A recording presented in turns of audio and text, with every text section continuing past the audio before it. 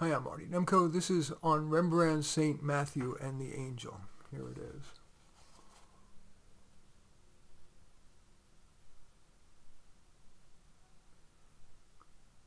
Trying to move it so the glare moves as well. Anyway, that print sits on my desk for decades now, so I barely notice it maybe just a flash that reminds me that that's my aspirational self, a wise man inspired by a beautiful woman. But if I really look at it, I'm reminded why it deserves pride of place. The forehead. You'll see Rembrandt highlighted Matthew's forehead, perhaps to emphasize his intelligence, which is the attribute I most venerate, necessary if insufficient for all significant accomplishment his hand on his beard. To me, that symbolizes wisdom, which goes beyond intelligence to cosmic judgment. What in the cosmic scheme of things will do the most good?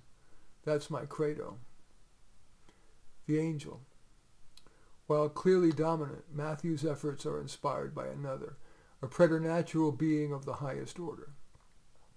I too try to be inspired by the best writing in the book. As an author, of course, I resonate with that.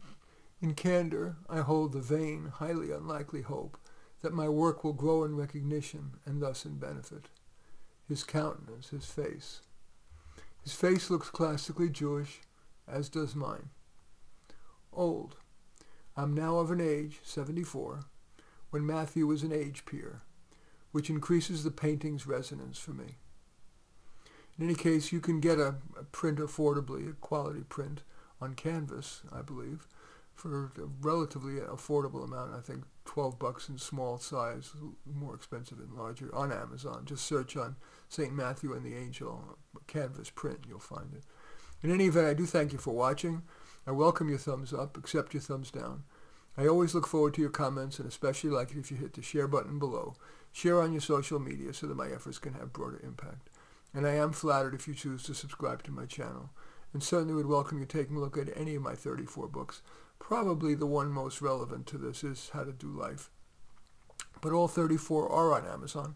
Just go there, search on my name, Marty Nemko, N-E-M-K-O, and you will find more than you can stomach.